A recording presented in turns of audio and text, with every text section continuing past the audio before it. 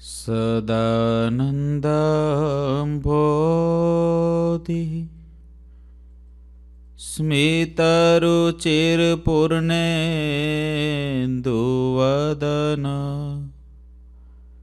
प्रफुल्लाम्भो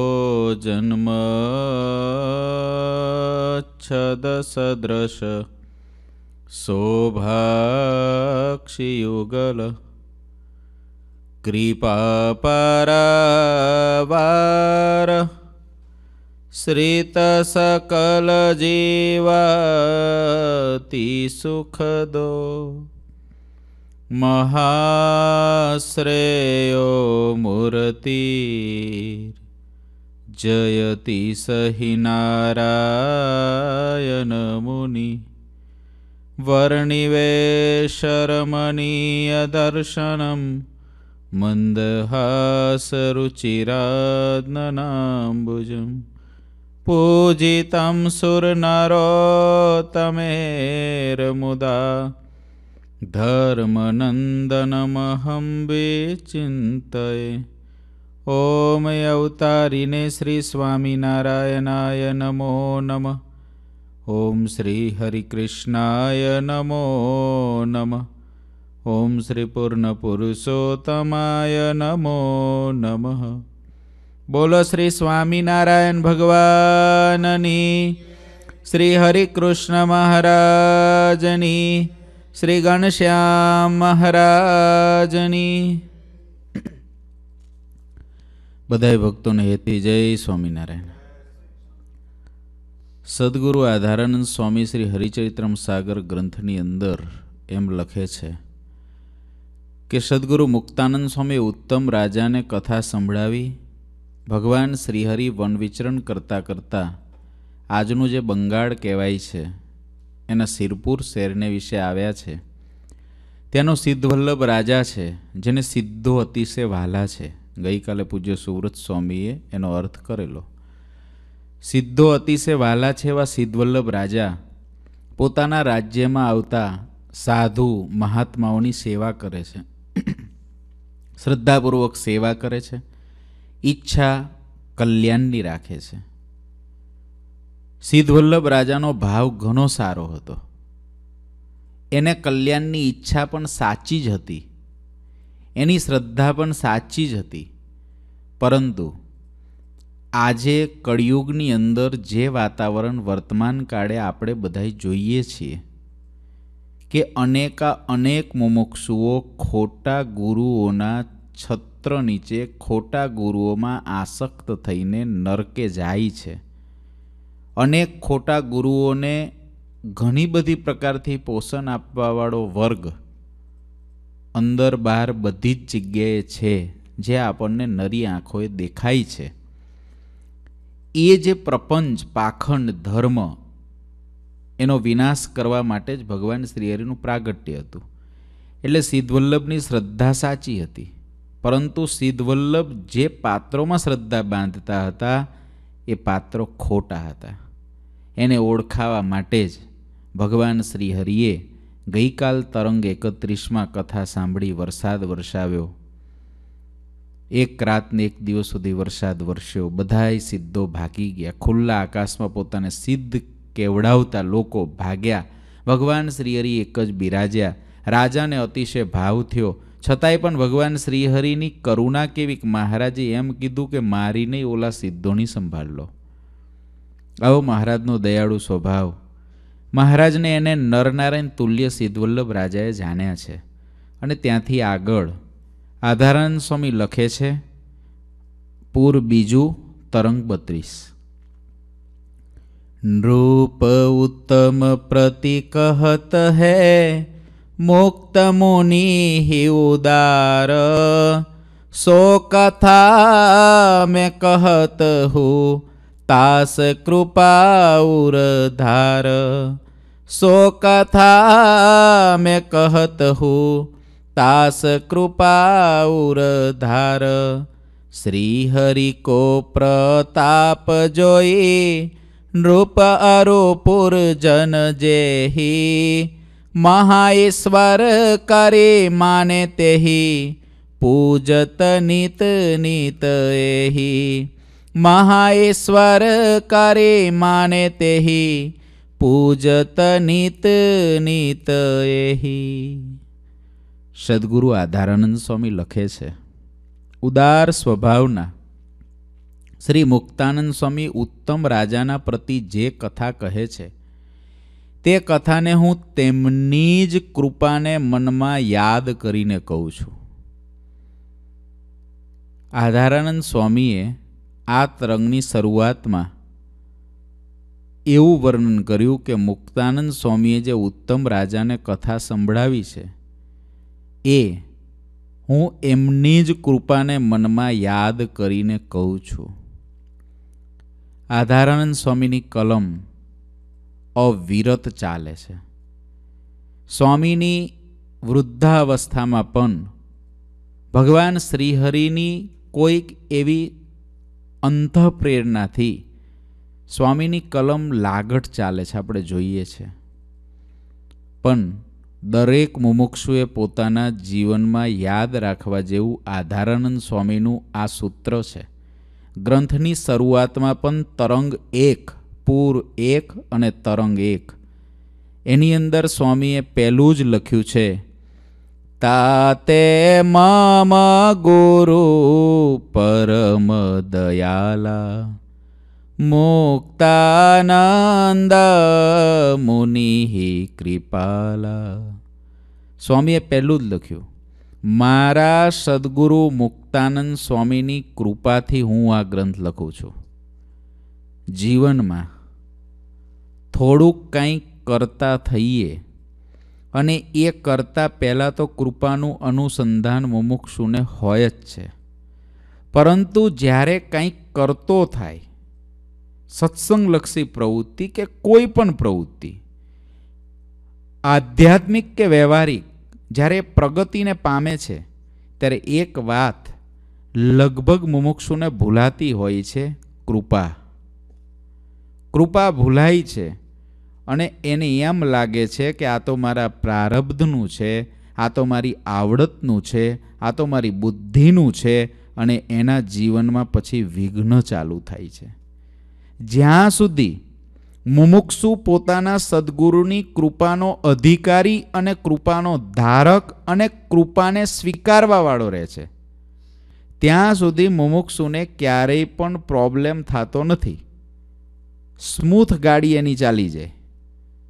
પણ જ્યારે જ્યારે જેને જેને વિઘન આવ્યું છે, થોડું આવ્યું છે કે જાજુ આવ્યું છે, મોટાની કૃપાનો જેટલો અસ્વીકાર, એટલું જ વિઘન વધારે મોટાની કૃપાનો જેટલો સ્વીકાર, એટલું જ વિઘ્ન ઓછું. મોટાની કૃપાનો જેટલો સ્વીકાર, એટલો જ મુક્ત ભાવ એમાં સહજ પ્રગટે અને મોટાની કૃપાનો જેટલો અસ્વીકાર, એટલું જ બદ્ધપણું એને વધે. મોટાની કૃપાનો સ્વીકાર એને જેટલી પંચ વિષયની પ્રીતિ ટળે અને મોટાની કૃપાનો અસ્વીકાર એ જ એને પંચ વિષયની અંદર બંધન કરે. મોટાની કૃપા. હું જે કાંઈ કરું છું, મારી અંદર જે કાંઈ છે, એ બધું જ મોટા પુરુષની કૃપાથી છે. આટલું જેને જીવનમાં યાદ રહી ગયું, જેને પોતાને વિશે આવું સેવકપણું માની લીધું, નિષ્કુળન સ્વામી ભક્ત ચિંતામણીમાં લખે છે, કહો તેથી કહો કોણ ન જીતાય, આ લોકને પરલોકને માયા. સદગુરુ આધારાનંદ સ્વામી, એમનો આ સ્વભાવ મને બહુ સ્પર્શી જાય કે સ્વામી આટલા શક્તિશાળી સંત હોવા છતાં, આવી રીતે આવો વિશાળ ગ્રંથ લખતા હોવા છતાં પોતાના ગુરુની કૃપાને પડે પડે યાદ કરે છે, વર્ણવે છે, લખે છે, પડે પડે. એ કૃપાને મનમાં યાદ કરીને કહું છું. સ્વામીએ શું કીધું? એ કથાને હું એમની કૃપાને મનમાં યાદ કરીને કહું છું. એમને જે મને કથા સંભળાવી, એ મારી પર કૃપા કરી છે. સ્વામી લખે છે, સિરપુરના રાજાએ અને નગરજનોએ શ્રીહરિનો પ્રતાપ દેખ્યો. તેથી તેઓ વર્ણિરાજ શ્રીહરિને મહાન પરમેશ્વર માનીને દિન પ્રતિદિન પૂજવા લાગ્યા. શિરપુર આખું શહેર. શિરપુર શહેરના બધાય લોકો, સિદ્ધવલ્લભ રાજા, એ ભગવાન શ્રી હરિને જ બધાય પ્રેમથી પૂજવા લાગ્યા. બાકી બધા સિદ્ધોનો ક્લાસ ગયો. બાકી બધાય આઉટ. એક જ અત્યારે છે માર્કેટમાં નીલકંઠ વરની એની જ પૂજા, એની જ વાત. જ્યાં જો ત્યાં આખા શિરપુર શહેરની અંદર બસ વરણીની જ વાતો થાય. વરણીની જ લોકો પૂજા કરે. લાગ, લાગટ, ચાર માસ સુધી વરસાદની જડીઓ ચાલુ રહી, ચારે ચાર મહિના. અર્થાત વરસાદ બહુ વરસ્યો.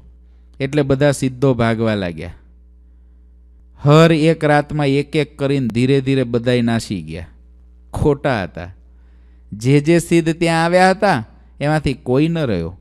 એ જોઈને લોકો મજાક કરતા કે આસન ખાલી પડ્યા સિદ્ધ ક્યાં ગયા?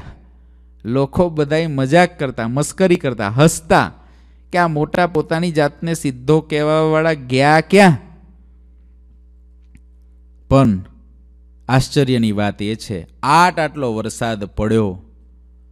ગમે એટલી વિપત્તિઓ આવી, પરંતુ એક રહે બેઠે બ્રહ્મચારી તાકો જય નમે નર નારી એક આ કહે સિદ્ધ હિ સાચે એક આ કહે સિદ્ધ હિ સાચે ઓર દંબે ભાગી ગયે કાચે ઓર દંબે ભાગી ગયે नृपते न मैं हरि बड़े जानी और को ले खोटे पेचानी बहुत बड़े श्री हरि के माना बहुत बड़े श्री हरि के माना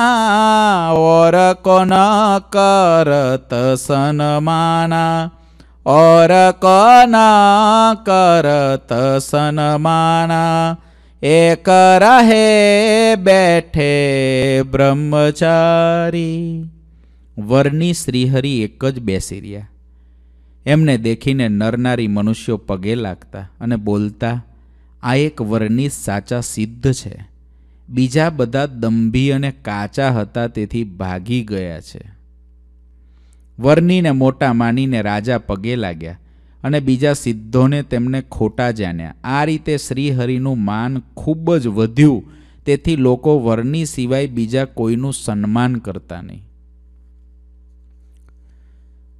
ભગવાન શ્રીહરિ એકને બેઠેલા જોયા. બાકીના બધા દંભી ભાગી ગયા. આ દંભ શબ્દ છે ને? છે ખાલી બે જ અક્ષર. પણ એનું વજન છે ને લગભગ જીવ આખી જિંદગી લઈને ફરતો હોય, આખી જિંદગી, એક વસ્તુનું વજન આખી જિંદગી લગભગ જીવ લઈને ફરતો હોય, એનું નામ છે દંભ. અને ખરાબમાં જ આ દંભ હોય એવું નથી, સારામાં પણ હોય. કારણ કે વ્યક્તિને સારું થવા કરતાં સારું દેખાવાનું વધારે ગમે છે. દરેકને એવું ગમે છે કે હું સારો દેખાવ. અને બીજી તકલીફ એ કે હમણાં જ બે ચાર બે ત્રણ દિવસ પહેલાં જ કથામાં આવ્યું હતું.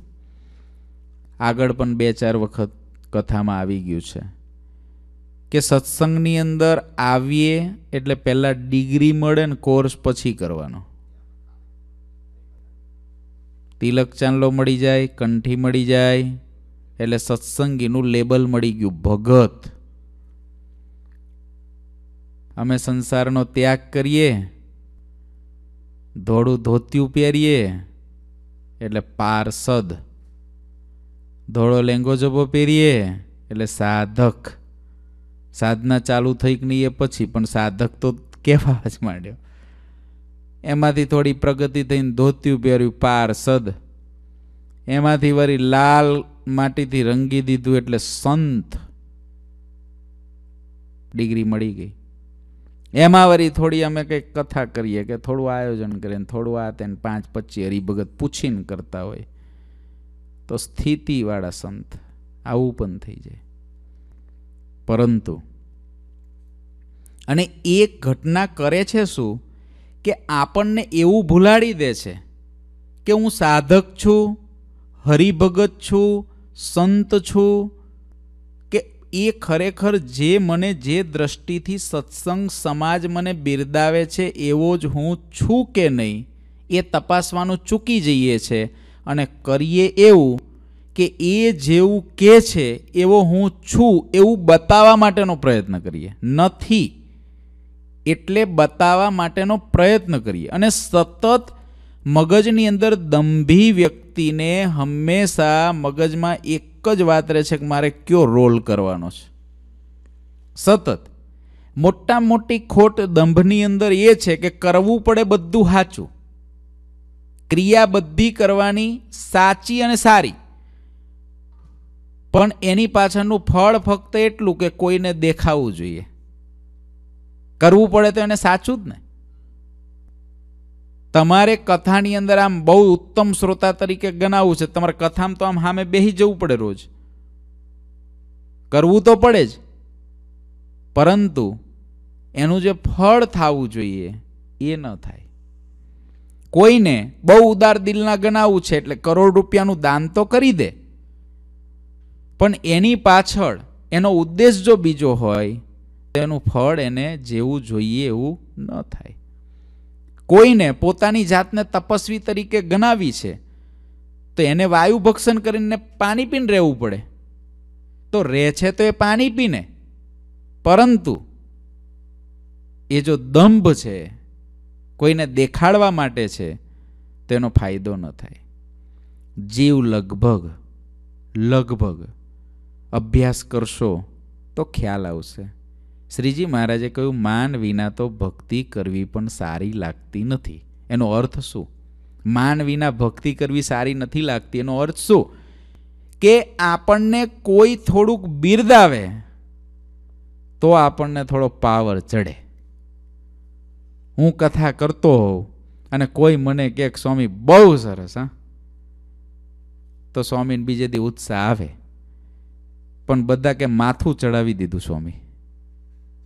માથું ખરેખર દુખવા લાગ્યું. દવા લેવી પડશે હવે બંધ કરી દો તો સારું છે. તો? બીજે દિવસે શું થાય?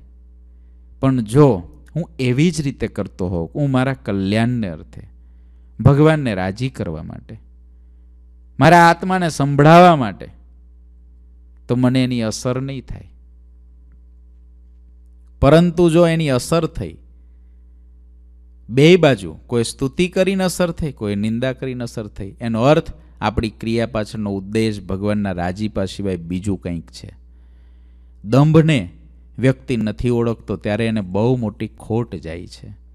આ બધાય દંભી હતા, બધા ભાગી ગયા. બતાવતા હતા, પોતે સિદ્ધ હતા એવું. પરંતુ એના અંતરમાં દંભ હતો. જે બહુ મોટું નુકસાન અને આધ્યાત્મ જગતમાં જેટલો દંભ ચાલે છે ને એટલો ક્યાંય નથી ચાલતો. દંભનું પોષણ જ આધ્યાત્મ જગતમાં છે.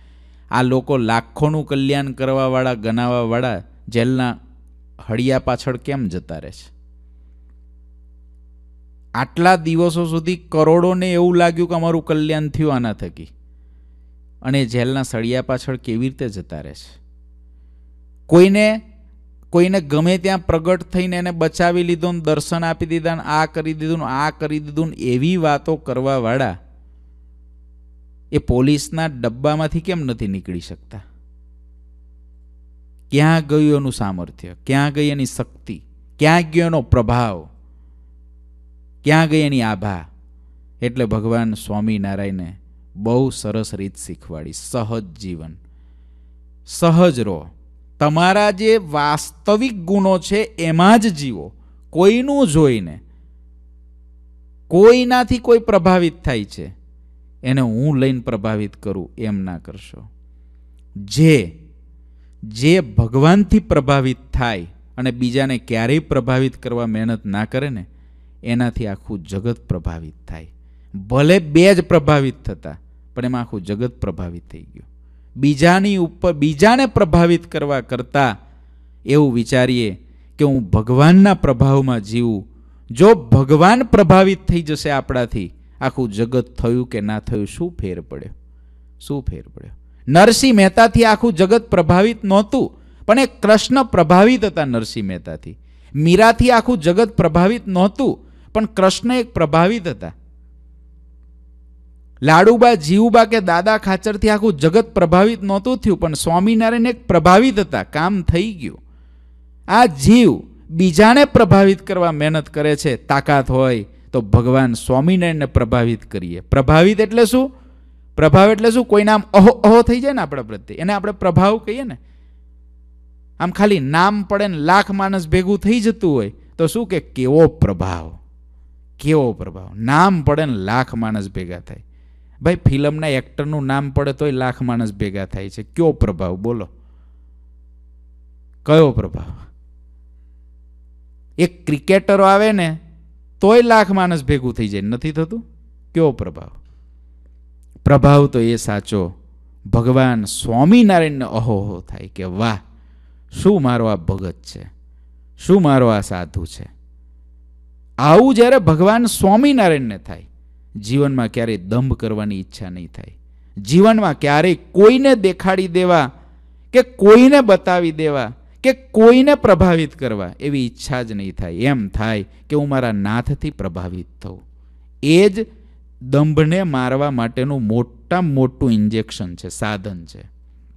કારણ કે આપણે બધા જીવો છીએ, કદાચ આ બહુ સૂક્ષ્મ વિષય છે, આની ઉપર બહુ ચિંતન કરો તો જ ખબર પડે કે હું કઈ કઈ જગ્યાએ દંભમાં પકડું છું? વિચારો, આપણી જેટલી ક્રિયાઓ થાય છે, આ સિદ્ધોની વાત તો પછી. આપણે, આપણા જીવનમાં વિચારો કે આપણે કેટલી ક્રિયાઓ સત્સંગલક્ષી કરતા હોઈએ. વ્યવહારનું તો જવા દો, પણ સત્સંગલક્ષી કરતા હોઈએ. એની અંદર પણ કેટલું બધું પ્રકારનું કંઈક છુપાવતા હોઈએ અને કંઈક બતાવતા હોઈએ. આવું થાય. આવું થાય. એની અંદર સાવધાન રહેવું પડે.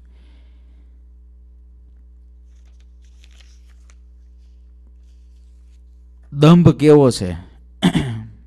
એ હસવાની વાત છે. એક ખેડૂત હતો, નવી નવી ઘરવાળી લાવ્યો. દંભ કેવો હોય એ? ગ્રેજ્યુએટ થયેલા. ગ્રેજ્યુએટ થયેલા બુદ્ધિવાળા તો કહેવાય ને.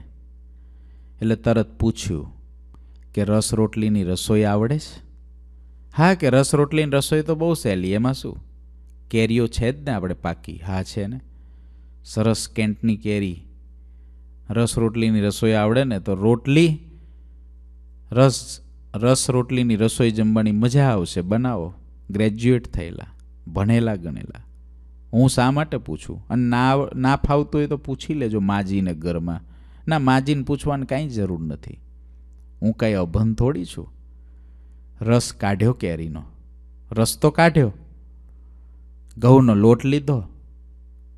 અને રસમાં રોટલીનો લોટ બાંધ્યો. અને રોટલી કરી. ઓલા ભાઈ બપોર જમવા બેઠા. એટલે કે, આ શું? તો કે, બસ, આ રસ રોટલીની રસોઈ. આ દંભ કરાવે. કોણ કરાવે? દંભ કરાવે. બહુ સરસ. તમને નથી ખબર. સ્વીકારી લો. ભલે જગત તમને જ્ઞાની કે છે, તમને નથી ખબર. સ્વીકારી લો. મને નથી ખબર. હમણાં જ વાત આવી હતી પાંચ અઠવાડિયા પહેલાં જ કથામાં. નથી ખબર એને સ્વીકારવું. એ જ સાચો જ્ઞાની છે. આપણી અંદર જે નથી, એ બીજાને શા માટે બતાવવું? નથી એ નથી જ. આવવાનું જ નથી. બતાવવાથી નથી આવવાનું. આ સીધો. અત્યાર સુધી સીધા બતાવતા હતા.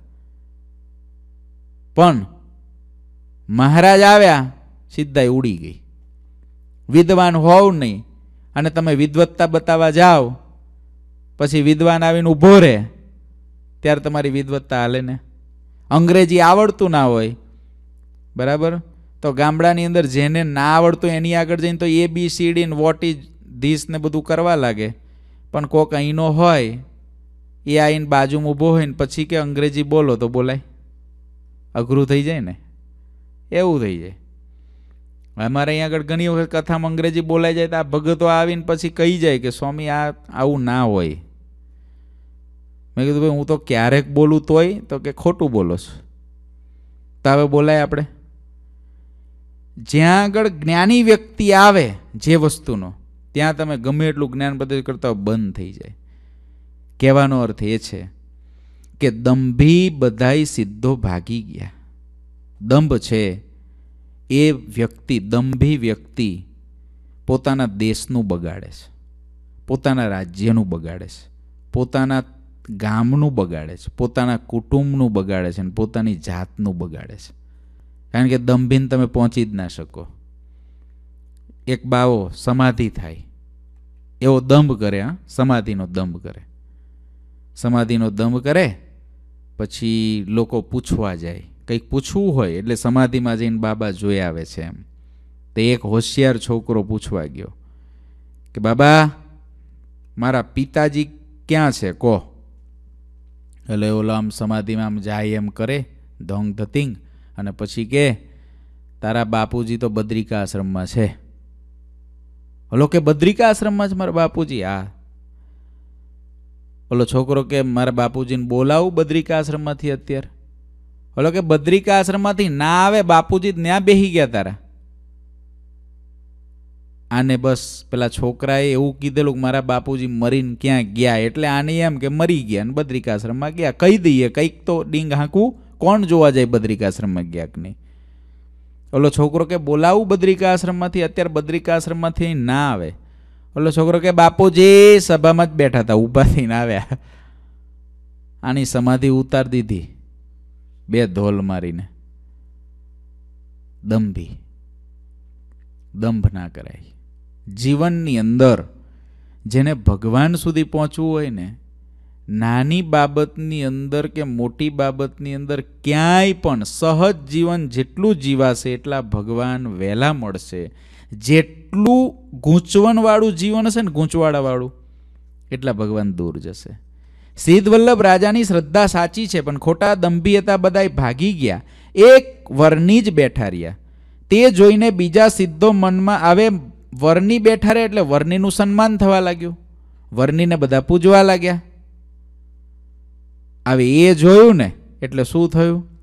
સો દેખી ઓર બરે અતંતા આએ મારને કાલ જનુવંતા આડો દમાંતરીકે મોઠ ચલાઈ આડો દમાંતરીકે મોઠ ચલાઈ સો સબ મિથ્યા હો ગઈ તાઈ સો સબ મિથ્યા હો ગઈ તાઈ સો દેખે ઓર બરે અતંતા તે જોઈને બીજા સિદ્ધો મનમાં અતિશય બળવા લાગ્યા કઈ બળતરા થઈ વર્ણિની પૂજા થવા લાગીને અમારી પૂજા બંધ થઈ સૌથી મોટો રોગ કોઈને કોઈ પૂજે કોઈને કોઈ એના સદગુણોને પૂજે કોઈ એની શક્તિને પૂજે,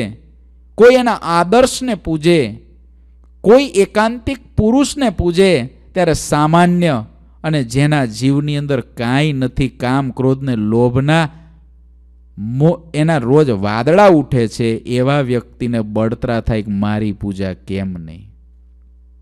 વરની સાચા છે, ભગવાન છે. એનો પ્રભાવ આંખોએ આ સિદ્ધોએ જોયો છે કે આપણે લોકો ભાગી ગયા ત્યારે એક જ બેઠા હતા. એવા વર્ણિનો પ્રભાવ જોવા છતાંય બળવા લાગ્યા.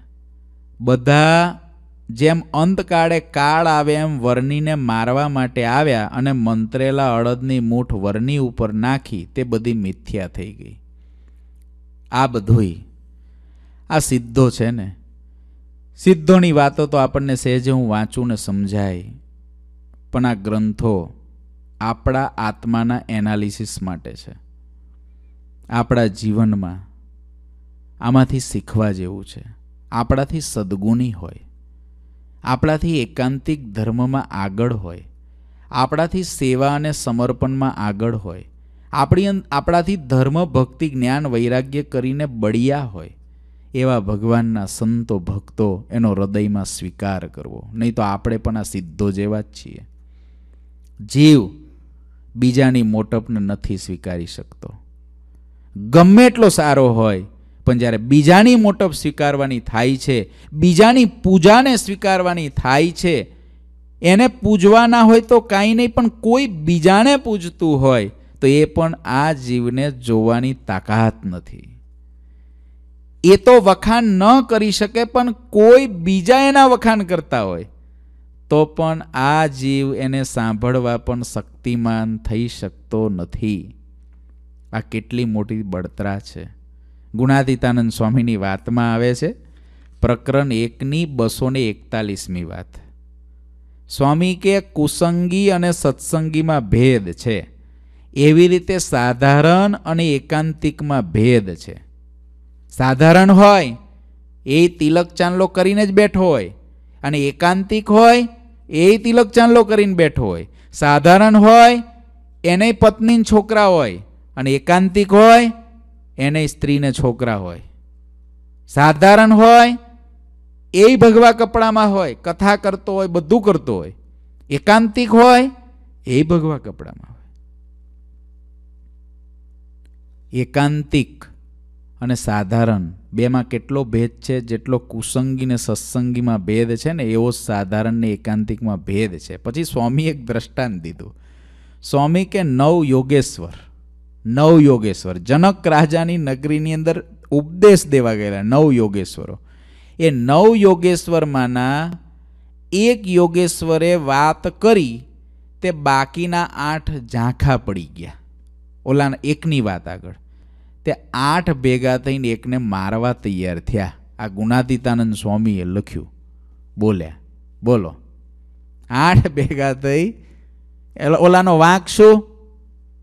એને એવી વાત કરી કે ઓલા આઠ ઝાંખા થઈ ગયા, બસ. એને એવું નક્કી કરી નહોતી કરી કે હું આવી વાત કરું એટલે ઓલા આઠ ઝાંખા થાય. પણ એની વાતમાં જ એવો ચમત્કાર હતો કે ઓલા આઠ ઝાંખા થઈ ગયા. મુક્તાનંદ સ્વામી, ગોપાળાનંદ સ્વામી ગુણાતીતાનંદ સ્વામી, નિષ્કુળાનંદ સ્વામી, એ કાંઈ એવું નક્કી ના કરે કે અમે બેઠા હોય ત્યાં બીજા બધા આમ આછા થઈ જાય. સૂર્ય નક્કી નથી કરતો કે હું આકાશમાં આવું એટલે પૃથ્વી પરના હેલોજન ટ્યુબલાઇટો આછી થઈ જાય. એ તો સૂર્યની તાકાત જ એવી છે કે સૂર્ય આવે એટલે ઓટોમેટિક બધા એમાં લીન થઈ જાય. એમ એકાંતિક છે, એકાંતિકનો એકાંતિકને વિશે ભગવાન શ્રીહરિનો નિવાસ જ એવો છે. ભગવાન શ્રીહરિથી વધારે પ્રકાશમાન છે કોણ? તો એકાંતિકને વિશે ભગવાન શ્રીહરિનો નિવાસ છે. એટલે એની આગળ ઓટોમેટિક બીજો ઝાંખો થઈ જ જવાનો. પણ સ્વીકારવાની તૈયારી નહીં. જુઓ તો ખરા. ગુણાતીતાનંદ સ્વામીને નથી સ્વીકારવાને એને નથી સ્વીકાર્યા. એ વખતે નથી સ્વીકાર્યા આજે નથી સ્વીકાર્યા. મુક્તાનંદ સ્વામીને નથી સ્વીકારવા, એ વખતે નથી સ્વીકાર્યા, આજે નથી સ્વીકાર્યા. ગોપાળાનંદ સ્વામીને જેને નથી સ્વીકારવા, એ વખતે નથી સ્વીકાર્યા, આજે નથી સ્વીકારતા. અમે નથી સ્વીકારતા. ખોટ એને જાય. ખોટ કોને જાય? એને જાય. આ સિદ્ધો છે. વર્ણીને મારવા આવ્યા. એના કરતાં જો એટલું જ નક્કી કર્યું હોય, આખરે તો ભેખ લઈને નીકળ્યા છે ને આ લોકો. સાધુઓ છે ને? ઘર છોડીને નીકળ્યા છે ને? તો એટલું તો વિચારે ને કે અમે ઘર છોડ્યું.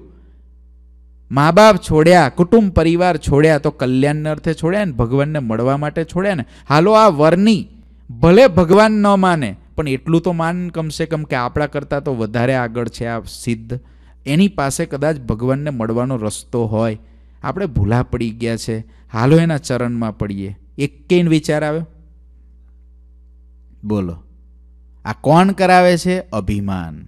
અભિમાન.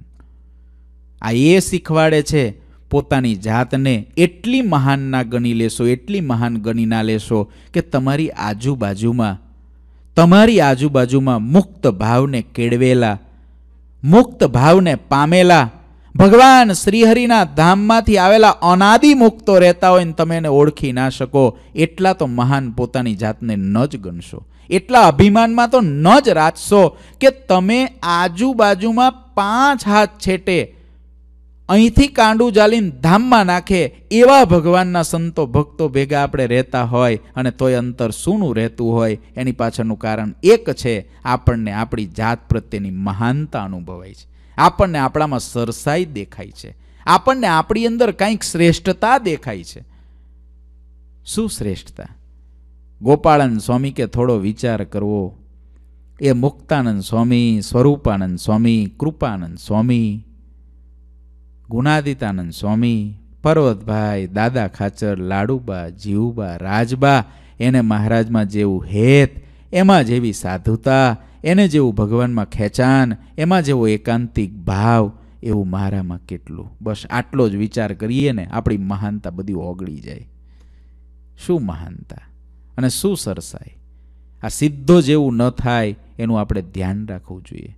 સત્સંગની અંદર કોઈ વખત ભગવાનના કોઈ ભક્તો હોય, તમારે હરિભગત છો. તમારે તમારા હરિભક્તોના સમુદાયમાં શ્રેષ્ઠ ભક્તોને ખોડી રાખવા જોઈએ. શ્રેષ્ઠ એટલે એવા નહીં કે આપણને હાય હા કરે. શ્રેષ્ઠ એટલે એવા નહીં કે આપણો સ્વભાવ એની સાથે મળતો હોય. પણ આપણને ક્યારેક ભૂલ થાય તો કે. એવા કે જેની ભેગા બેસવાથી આપણને મહારાજનું હેત થાય, મોટા પુરુષમાં હેત થાય એવા ભગવાનના સંતો, ભક્તો એને ત્યાગીએ ત્યાગીમાન ગ્રહસ્થે ગ્રહસ્થમાં ખોડી એને મહાન પોતાના હૃદયમાં સ્થાન આપીને રાખવા જોઈએ. ગુણાતીતાનંદ સ્વામી કે, આ વાત તો હો જન્મે ના સમજાય પ્રકરણ પહેલામાં જ આ વાત આવે છે. આ વાત તો સો જન્મે ના સમજાય સ્વામી કે. કઈ વાત? તો સ્વામી કે, બે સારા સાધુ અને ત્રણ સારા હરિભગતમાં જીવ બાંધવો. હો, જન્મે ના સમજાય બોલો. મને તો આશ્ચર્ય લાગે છે. હમણાં હું સ્વામીની વાતોના પાઠ કરું છું ને તે ઘણી બધી વાર વાતો આવી. તે ઘણી વખત આ ભક્તો મારી યારે ફરતા હોય હું વાંચતો હોઉં, ત્યારે હું કહું, આ કેવું આશ્ચર્ય? જ્યારે વાત આવે ત્યારે કહું. સો જન્મે નથી સમજાય એવી વાત. બોલો, ઉપાસના ના સમજાય એવું ના કીધું. પણ સો જન્મે નથી સમજાય એવી વાત આ બે સારા સાધુ, ત્રણ સારા હરિભગત, એમાં જીવને બાંધવો. બંધાય જ નહીં. કારણ પોતે જ એટલું બધું એ થઈ ગયો હોય તો કોણ આમ બાંધે? આ મહારાજ હામાં મળ્યા છે તોય આ નથી બાંધી શકતા. મહારાજને મારવા આવ્યા, બોલો. મહારાજને મારવા આવ્યા. તરવાનું છે, જ્યાંથી તરવાનું છે ત્યાં ડૂબવા આવે છે. જે નાવમાં બેહીન તરી જવાય એવું છે, એ નાવને તોડવા આવે છે. તોય ભગવાન શ્રીહરિ તો આખરે કલ્યાણ આપવા પ્રગટ થયા છે ને. તે પછી સાધુ ગોપાળદાસ જે વર્ણિની સેવા કરતા હતા, તેના ઉપર મૂઠ નાખી આથી તે ભૂમિ ઉપર પટકાઈ પડ્યો, તેને ઘણી પીડા થઈ. મહારાજ આગળ તો કાંઈ ચાલ્યું નહીં. એટલે ગોપાળદાસ ઉપર મૂઠ નાખી. સેવા કરતા હતા ને? એટલે ગોપાળદાસ તો તરત જ ભૂમિ ઉપર પટકાઈને પડી ગયા. બહુ પીડા થવા લાગી. તેના મોઢામાંથી ફીન નીકળવા લાગ્યા. એને જોઈને લોકો બોલતા, હવે આ જીવશે નહીં. પછી રાજાએ સિદ્ધોને બોલાવીને કહ્યું, હવે તમે મૂઠ પાછી વાળીને અમને બેઠા કરો. સિદ્ધો જતા રહ્યા હતા. પણ વર્ણિની પૂજા જોઈને સાંભળ્યું કે વર્ણિની પૂજા કરવા લાગ્યા છે રાજા. એટલે સિદ્ધો તરત પાછા આવ્યા ગોપાળદાસ મૂર્છા અવસ્થામાં પડ્યા છે. સિદ્ધવલ્લભ રાજા સિદ્ધો પાસે ગયા અને જાણી ગયા કે આ સિદ્ધોએ જ આ કર્યું છે એટલે કહે છે કે તમે આમને જગ, આને જગાડો. ત્યારે પેલા સિદ્ધો બોલ્યા સિદ્ધ બોલે તબ મરડ મે ભારી જેવા વહે યાકુ બ્રહ્મચારી તબ નૃપને આઈ જોરે હાથા. કહે યાકુ જીવાય નાથા. કહે યાકુ જીવાએ નાથા. સિદ્ધોએ કીધું ઈર્ષા અને અભિમાનથી કીધું આ ગોપાળદાસને તો વર્ણીજી વાળશે બહુ સેવા કરી છે ને નહીં? અમારી પાસે શું કરવા આવો છો? તમે કહો છો ને કે આ સિદ્ધોથી બધા મોટા સીધા વરની છે નાનું છોકરું? તમે આટલા વર્ષોથી અમને જોવો છો, દરેક ચાતુર્માસમાં અમે આવીએ છીએ. અમારો પ્રતાપ, અમારી શક્તિનો, તમને પરિચય જે થયેલો ભૂલી ગયા? જાઓ ઓલા વરની પાસે, એ જગાડશે. મારા તો નાના દેખાય ને બટુક બ્રહ્મચારી બાર વર્ષના. નાના છોકરા હજુ તો મૂછો ઉગી નથી. અને આ તો બધા મોટા દાઢીઓવાળા ને મૂછોવાળા ને ધોળી દાઢી થઈ ગયેલી ને ચીપિયાવાળા ને કેવા કેવા? એના ચેલાઓ કેટલા બધા? રાજા તરત વરની પાસે આવીને હાથ જોડીને રાજાએ કહ્યું, હે નાથ, હવે આપ આ સાધુને જીવાડો. ત્યારે શ્રીહરિ ગોપાળદાસ પાસે આવ્યા, તેના કાનમાં શ્રી કૃષ્ણ ભગવાનનો મંત્ર સંભળાવ્યો, તેને ઉઠાડ્યા. ત્યારે તે સાધુ તરત ઉઠ્યા અને ભાનમાં આવ્યા, જરાય વાર ન લાગી. ત્યારે હજારો લોકોને વિસ્મય થયો. લોકો કહેવા લાગ્યા, આ તો કૃષ્ણ આવ્યા છે, આપણા સદભાગ્ય છે કે આપણે તેના દર્શન પામ્યા. વર્ણિનું સામર્થ્ય સિદ્ધો કરતાં પણ ઘણું મહાન છે, માટે તેને કૃષ્ણ જાણવા. હવે નર નારાયણ આગળ જાણ્યા હતા હવે જાણ્યા? કૃષ્ણ. ગોપાળદાસને મૂર્છા અવસ્થામાંથી બેઠા કર્યા. મહારાજે ગોપાળદાસના માથે હાથ ફેરવ્યો. જે કાંઈ પીડા હતી શરીરમાંથી જતી રહી. સિરપુરના લોકોને મહારાજમાં તો ભાવ હતો. એમાં પાછી આ ઘટના ઘટી. ઓલા સિદ્ધોને હજુ પોતાની હાર નહોતા સ્વીકારતા ને હજુ પણ કાંઈક પોતાની સિદ્ધાઈ બતાવવા માગતા હતા બંગાળની અંદર મંત્ર પ્રયોગો એ જમાનાની અંદર બહુ ચાલતા. બંગાળને વિશે. બંગાળના એ સમયના જે પુસ્તકો છે, ઇતિહાસના લખેલા, એની અંદર મંત્ર શક્તિ વિશેનું ઘણું બધું લખેલું છે. ત્યારના ખેવટિયા, નાવિકો, એ પણ આવી મંત્ર વિદ્યાઓ જાણતા. અમુક પુસ્તકોમાં એવા ઇતિહાસો લખ્યા છે પેલા ચાંચિયાઓ, પેલા ચોર લોકો જ્યારે એવી રીતે કોઈ વાનને લૂંટવા આવે ત્યારે નાવિકો એવી વિદ્યા જાણતા કે ભાલાને દોરીમાં બાંધી અને મંત્ર વિદ્યાથી નાખે સામેનો વ્યક્તિ મરી જાય ને ભાલો એના હાથમાં આવી જાય, એ આંખોએ જોયેલું વ્યક્તિએ અંગ્રેજીમાં પુસ્તક લખ્યું છે. અને એ પુસ્તકની અંદર એને ઘટના લખી છે કે હું નાનો હતો, ત્યારે મેં આ ઘટના જોઈ છે. બંગાળને વિશે મંત્ર વિદ્યાઓ, આવી બધી મેલી વિદ્યાઓ, ઘણો બધો પ્રયોગ થતો, એટલે મંત્ર વિદ્યા સાચી હતી. આ બાજુ એ સિદ્ધે ગોપાળદાસ ઉપર મૂઠ નાખી હતી, તે મૂઠ એને અવળી પડી. ભગવાને પાછું રિવર્સ મોકલ્યો ફોર્સ જેને નાખી હતી ને, એના માથે મૂઠ ગઈ અને મૂઠ નાખનારો સિદ્ધ જ તરત ભૂમિ ઉપર પડ્યો ને બેહાલ થઈ ગયો. જે દશા ગોપાળદાસની થઈ હતી, એ દશા જે નાખવાવાળો તો એની થઈ ગઈ. એના મોઢામાં ધૂળ ભરાઈ ગઈ અને ઘણા ફીન આવી ગયા. મોઢામાંથી નાકમાંથી એક દારૂ લોહી નીકળવા લાગ્યું.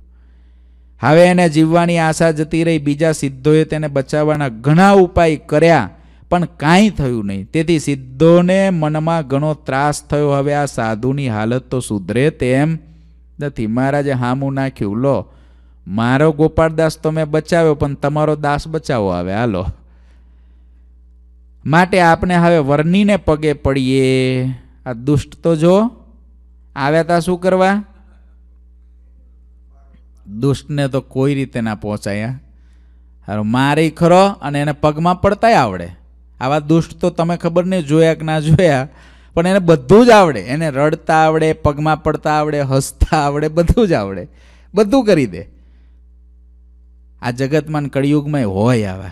સમાજમાં હોય, સત્સંગમાં હોય, બારે હોય, અંદરે હોય, બધે હોય. માટે આપણે હવે વર્ણિન પગે પડીએ. કારણ કે આપણાથી તો કાંઈ ઉપાય થઈ શકે તેમ નથી. વરની પાસે જઈને આ સિદ્ધને બચાવવાની વિનંતી કરીએ ને કહીએ, હવે અમે આપના શિષ્ય છીએ, આપ અમારા ગુરુ છો. એના કરતાં પહેલેથી જ થઈ ગયા હોત તો. આ જીવને આવી અવડાઈ છે. આ ખરે તો આપણે ખોટા હોઈશું. તો કદાચ આપણને જગત આખું હાચા હાચા કહેશે ને, તોય તુલસીદાસજીએ લખ્યું છે, પાપ પુણ્ય છુપ છુપ કરો. સોવત કરો કે જાગ તુલસી કબ લગ છુપ રહે ઘાસ ઘુસાઈ આગ તુલસીદાસજીએ લખ્યું છે આ પાપ પુણ્ય છુપ છુપ કરો છુપાઈ છુપાઈને કરો સોવત કરો કે જાગ સૂતા કરો કે જાગતા કરો તુલસી કબલગ છુપ રહે તુલસીદાસજી છે ક્યાં સુધી છુપાયેલું રહેશે ઘાસ ઘૂસાઈ આગ. ઘાસની અંદર તમે આગ ઘુસાડી છે અને ઉપરથી ઘાસના પૂળા સેફ દેખાય છે. પણ કેટલીક વાર એક સિગારેટ ખાલી પડી હોય તો અહીં આગળ અમેરિકાના મકાનો હળગાઈ દે છે આખા. એક સિગારેટ આટલી એમથી માણસથી આમ ભૂલથી બરાબર પીધેલું હોય, ગમે તે નાખી દે, આખું મકાન હળગી જાય. થઈ જાય છે? તો એવી રીતે તુલસીદાસજી કે કોઈ પાપ કરીને દમ કર્યો, કેટલા દિવસ છુપાયેલો રાખશે? એ તો આગ જ નાખી છે ઘાસમાં, હળગવાનું એક દી. એક દિવસ હળગવાનું, આખા જગતને ખબર પડવાનું કે આ હળગ્યું. હળગ્યું એનો અર્થ અગ્નિ હતો જ. એક દિવસ તો બહાર પડી જ જાય. આપણે દેખીએ છીએ કે આપણી નજરની સામે જોવો તો ખરા, કેવા લોકો, કેવા મોટા આમ આમ કેટલા મોટા પ્રોટેક્શનની અંદર રહેતા હોય ને કેટલા માણસો એને બચાવવા માટે મતતા હોય. તોય જેલ પાછળ હળિયા ગનતા હોય એક, બેન, ત્રણ. કોણ કરાવે છે આ દંભ? કોને કરાવ્યું આ દંભ? એક દિવસ ઘાસના પૂડામાં અગ્નિ નાખેલો છે, એને કરાવ્યું. આ બધાય પગમાં પડવા માટે તૈયાર થયા. એમ વિચારીને સૌ શ્રીહરિ પાસે આવ્યા, પગમાં પડીને મસ્તક નમાવ્યા, હાથ જોડીને બહુ વિનય કર્યો ગદગદ કંઠ થઈને બોલ્યા, આપ અમારા ગુરુ અને અમે આપને આધીન શિષ્ય છીએ. ગુરુ કરી દીધા. સૌએ આવીને મોઢામાં ઘાસના તરના લીધા. ત્યારે શ્રીહરિ તે બેભાન પડેલા સિદ્ધ પાસે ગયા, કાનમાં શ્રીકૃષ્ણ ભગવાનનો મંત્ર કયો, એ જ સમયે સર્વોપરી પ્રગટ, મંત્ર કયો, જે તે સમયે સર્વોપરી પ્રગટ વિરાજમાન હતા. શ્રીકૃષ્ણ મંત્ર એટલે કયો મહારાજે પોતાનો જ મંત્ર અહીં કીધું, જે સર્વોપરી પ્રગટ વિરાજમાન હતા. આધારાનંદ સ્વામીને ગ્રંથ કરવા પાછળનો ઉદ્દેશ મેં પહેલાં જ તરંગની અંદર કીધું હતું કે સ્વામીએ આ ગ્રંથ મહારાજનું સર્વોપરીપણું પ્રગટ કરવા માટે કર્યો છે. એ સર્વોપરીપણું કોઈ રીતે જીવને ભૂલાય નહીં. એટલે સ્વામીએ કેવું વાક્ય લખ્યું કે જે સર્વોપરી ભગવાન પ્રગટ વિરાજમાન હતા એમનો જ મંત્ર ભગવાને ઓલાને કાનમાં કીધો. એટલે કોઈને પાછો એવો ભ્રમ ના થાય કે આ વરની વરી શ્રીકૃષ્ણનો મંત્ર કયો કે છે? મહારાજે પોતાનો જ મંત્ર કીધો. તે સિદ્ધ તત્કાળ મૃત્યુના મુખમાંથી છૂટી ગયો, અર્થાત જીવિત રહ્યો. તેથી સૌને ઘણો આનંદ થયો. રાજા અને સિદ્ધો સૌએ મળી શ્રીહરિ પાસે આવીને તેમની સ્તુતિ કરી.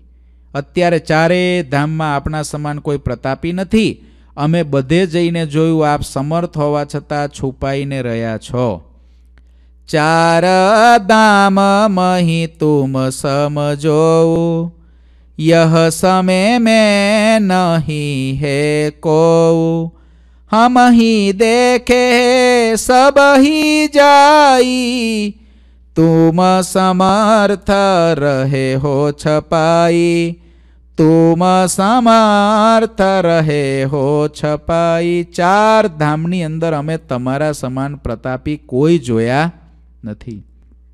તમે સમર્થ હોવા છતાં છુપાઈને રહ્યા છો. સમર્થપણું તો એ જ છે. સબ બળતા મેં બળતા એહી હમણાં જ એક તરંગમાં આગળ, એક તરંગ આગળ ચોપાઈ આવી હતી. કે સૌથી મોટી બડાય જ એ છે, સૌથી મોટું સામર્થ્ય જે છે, છુપાઈ રહેવું. ભગવાન સમર્થ કેમ છે? ભગવાન સમર્થ એટલે છે કે બધી જ સામર્થિ ભગવાનમાં હોવા છતાં પણ છુપાયેલા રહે છે. આપણને થોડુંક ના ફાવે જમવાનું, એટલે આપણે તરત બોલી જઈએ કે મને આ નહીં ફાવે. આમાં મીઠું ઓછું પડ્યું છે આજે. મરચું બહુ ઝાઝું નાખી દીધું છે. ચાંદ્રાયણ કરતા હોય કે ગોળ ઝાઝો નાખી દીધો છે. ઘી વધારે નાખી દીધું છે. ધારના પારના ચાલતા હોય તમે કહીએ, આ નહીં ફાવે આજે પારનામાં પણ ભગવાનને આટલા સમર્થ હોવા છતાં કોઈ ફરિયાદ કરી? કશી જ નહીં ને ક્યારેય. કોઈ બાબતની નહીં વાગા. કોઈ પણ ઊંઘવું, જગાડવું, પંદર મિનિટ લેટ જગાડો, વહેલા જગાડો, કાંઈ નહીં. સમર્થ છે. અને આપણે આપણે હૂતા હોય ને કોઈ થોડો અવાજ કરે ને, તો આપણે તરત શું કહીએ? બહાર નીકળો અહીંથી. અત્યારે હુવાના ટાઈમે ક્યાં અવાજ કરો છો? અને મહારાજ, કંઈ જ નહીં લો, કંઈ જ નહીં. રાતે એક વાગ્યા સુધી અવાજ કરો અને હવારની અંદર પાછા ભગવાનને તો હવાર હાડા પાંચે પૂજારી જગાડે. મહારાજ કે, હા, એવું કે? મને રાત્રે બહુ અવાજ થયો, ઊંઘ ના આવી. સામર્થ્ય છુપાવીને વર્તે છે. એટલે સમર્થ છે. સામર્થ્ય છુપાવે એ સમર્થ. સામર્થ્યને બતાવે એ જ અસમર્થ. બીજાને બતાવવાની ઈચ્છા એ જ અસમર્થપણું. અને બીજા મને જાણે જ નહીં. એવી રીતે જે રહેવું એ જ સમર્થપણું. પોતાની શક્તિ પોતાનું પ્રભાવને છુપાવી દેવો. એ જ સમર્થતા છે સાચી. ભગવાન શ્રી હરિ એવા સમર્થ છે કે સમર્થ હોવા છતાં પણ છુપાઈને વર્તે છે. સમાઈ જવું. ડટાઈ જવું, બીજાના પૂરક થઈ જવું, ઉપયોગમાં આવી જવું દેખાવું નહીં કામ કરી દેવું. કાર્ય કરતા. કેટલો સરસ શબ્દ છે? કાર્ય કરતા. કરતા ક્યાં હોય? પાછળ. કાર્ય કરતાની અંદર કરતા શબ્દ ક્યાં છે? પાછળ. અને કાર્ય ક્યાં છે? આગળ. કાર્ય જ હોય. કરતા કોણ છે ખબર ના પડે. તમે જુઓ, ભગવાન જેવો કાર્ય કરતા આ દુનિયામાં કોઈ નથી. બધું જ કરે. કાર્ય બધું જ કરતા દેખાય. પાર વિનાનો સમુદ્ર રાખ્યો છે. કરતા જોઈએ છે આપણે. બોલો. આ પવન વાયા જ કરે ચોવીસ કલાક. કરતા દેખાય છે. ટાઈમ ટુ ટાઈમ સૂર્ય આકાશમાં આવી જાય. કરતા દેખાય છે એટલો અધર કોને રાખ્યો? આ પૃથ્વી આમ એના એક્ઝેક્ટ ડાયમેન્શનમાં ફર્યા કરે. કરતા દેખાય છે.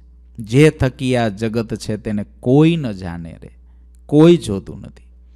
કાર્ય આગળ, કરતા પાછળ, એ સાચો કાર્ય કરતા, આપણે તો કેવું છે, કરતા આગળ. અને કાર્ય કાંઈ ના મળે.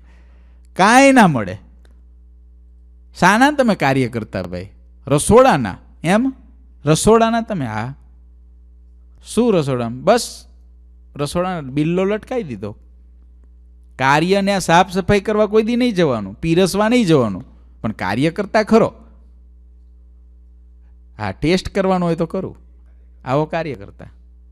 ભગવાન જેવા કાર્ય કરતા કોઈ નથી. સમર્થપણું છુપાવવું એ જ સાચું સમર્થપણું છે. સમર્થપણાને છુપાવવું. મુક્તાનંદ સ્વામી એવા કહેવાય જે સમાઈ ગયા. રામાનંદ સ્વામીની આજ્ઞાએ એકવીસ વર્ષના નીલકંઠ વર્ણિમાં સમાઈ ગયા. અને નીલકંઠ વરની સહજાનંદ સ્વામીની આજ્ઞાએ ગોપાળન સ્વામીમાં સમાઈ ગયા, આ મુક્તાનંદ સ્વામી. સમર્થ કરી શક્યા. અસમર્થના કામ નથી, અસમર્થ તો તરત કે, મારું સ્ટેટસ શું? મારી સીટ શું? અમારું શું? અરે ભાઈ, અમારું શું શું? તારા ભગવાન, ભગવાનને રાખ. પણ અમારું શું? આ લોકમાં શું? અમારી સીટ કઈ? અમારી ગાદી કઈ, અમારી ખુરશી કઈ. તો શું અમે હાવ એવા છીએ? આ બધું જ અસમર્થને થાય. સમર્થને કોઈ દી આવું ના થાય. સમર્થને તો હંમેશા એમ થાય, બહુ સારું ઉપાધિ ગઈ. એને તો બહુ સારું લાગે. જે ખરેખર સમર્થ હોય ને, કોક કરતા થઈ જાય ને, તો એની અંદર તાકાત ઓલા કરતાં વધારે હોય. તો સમર્થ પુરુષો કહેવાય બહુ સારું ભલે કરતા. ગુરુજી, જો કેટલા સમર્થ પુરુષ? પણ અહીંથી એકવાર અશ્વિન ભગતે ફોન કર્યો, ગુરુજી, ક્યારે આવવાના અરે, ભગત, કે મેં તમને મારાથી હવાયા સાધુઓ આપ્યા છે ને કે ને શું કીધું? મારાથી કેવા? હારું, અમે સાંભળીએ ને પછી ચક્કર ચડે હારું, હવાય આપણે તો ગુરુજીથી હવાય. કૃપા ભૂલાઈ જાય, હા. પણ એ સમજવાનું છે કે મોટાની સમર્થતા કેટલી કે જે આવું કહી શકે છે, સમજી શકે છે.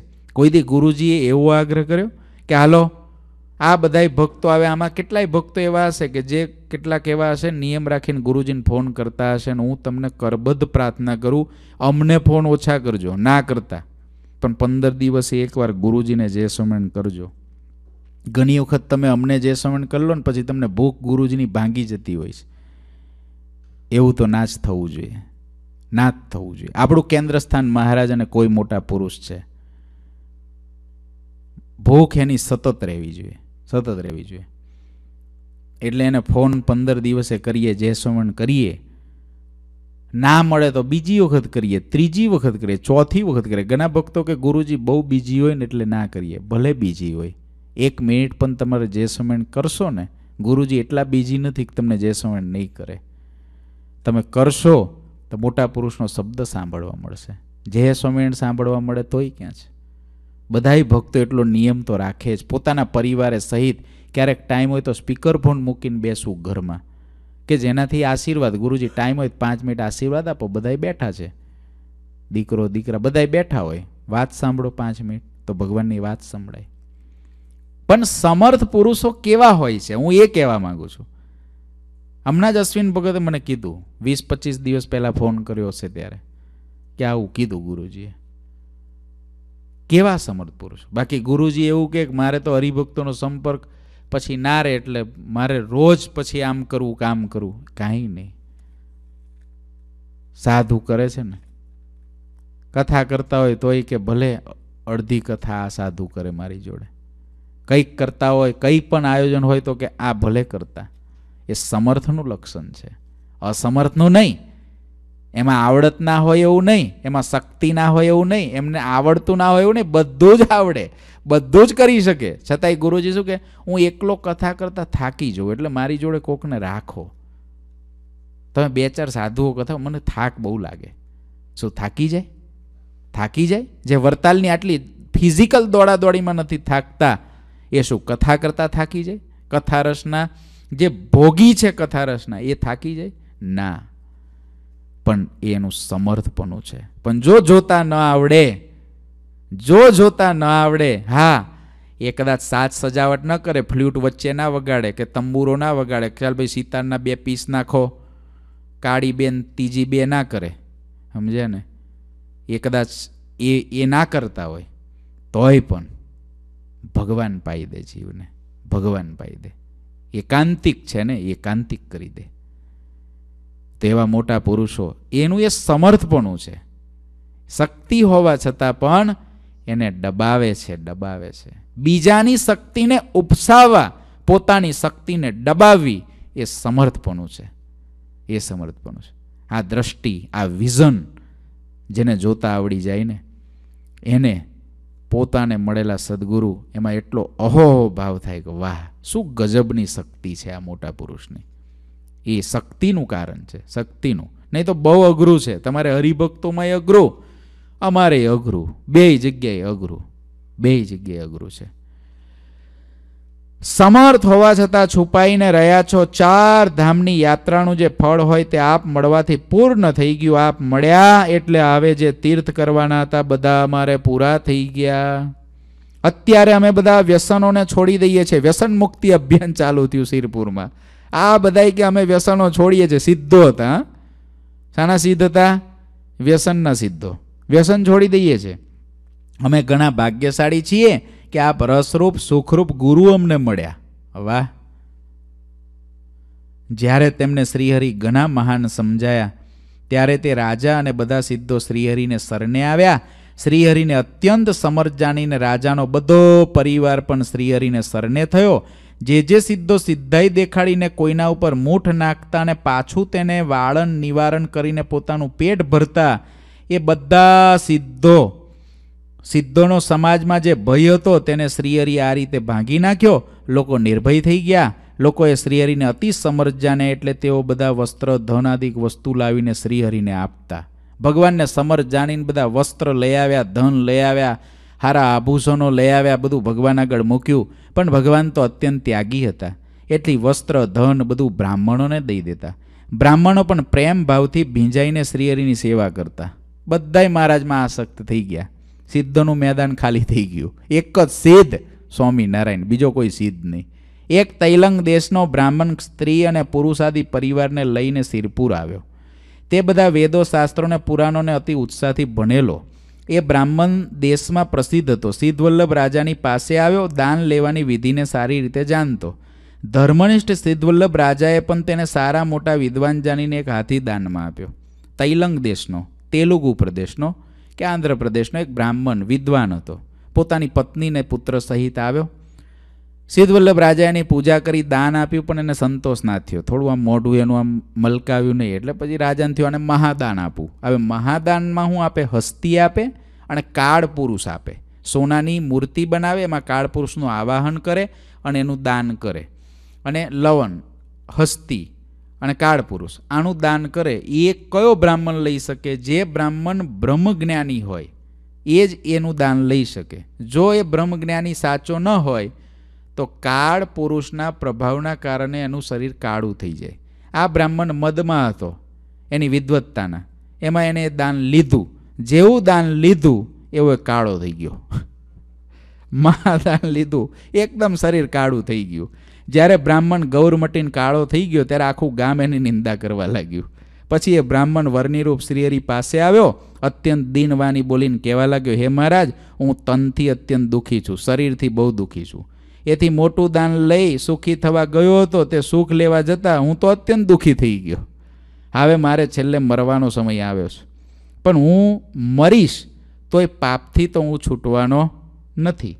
મારા મનુષ્ય દેહનો નાશ થાય તો પણ બીજો કોઈ ઉપાય નથી. અને મનુષ્ય દેહનો ત્યાગ ન કરું તો મારો કોઈ સહાયક નથી. મરવું કે જીવવું, બે બાજુ મારે તો દુઃખનું દુઃખ છે.